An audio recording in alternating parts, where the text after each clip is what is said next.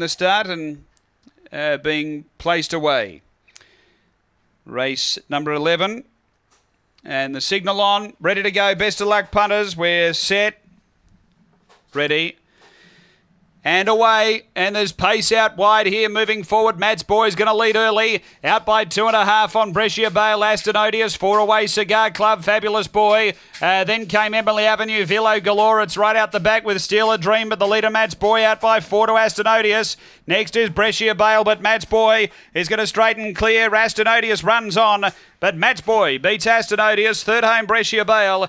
Uh, then Fabulous Boy, Cigar Club, Emily Avenue, Villo Galore, and Steal a Dream. The time 22.87. After the running of race number 11, numbers here 5, 4, 3, 7. Number five, the winner, Matt's Boy. Matthew Head, owner trainer, a black and white dog, July 2013 Premier Fantasy Who What Where. Number five, four Aston Odious second, June Sharp, a black bitch, October 2013 Magic Sprite Aston and three Brescia Bale, Lisa Rasmussen, a Red Fawn bitch, January 2013 Barcia Bale, Dinah Panama. It's 5 4 3 7 after race number 11 here at Gawler.